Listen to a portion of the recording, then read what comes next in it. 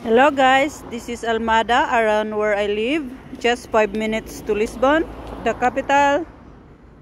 So today, I attended my daughter's meeting in school and afterwards, I went to the lottery store.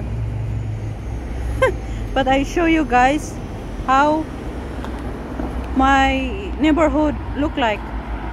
This is around where I live okay? In front guys is lisbon. Just five minutes by boat less than two euro. But we i have special card unlimited rides for only 40 euro. Okay? So this is voiceover obviously. And it takes long time. I don't know what's next. It's difficult to put voiceover okay? So Come on, it's a lot of train. okay.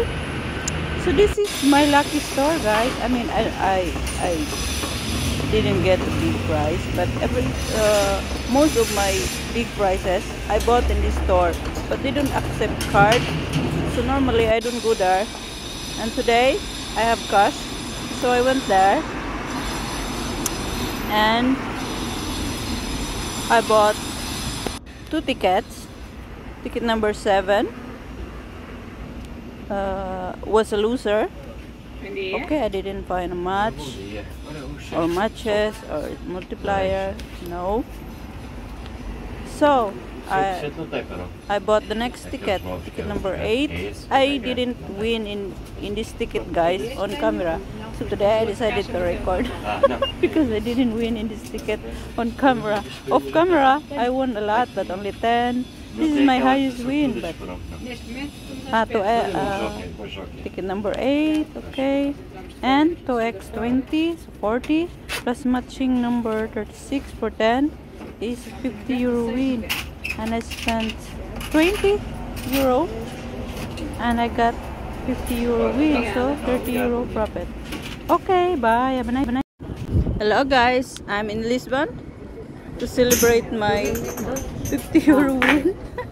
no, I, I come here every day guys. So I ordered this very strong shot. It's called Ginjinha. It's stronger than tequila guys. I bought two shots and then I felt dizzy really strong stronger than tequila.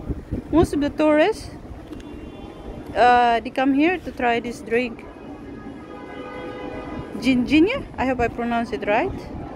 It's very good guys but just strong.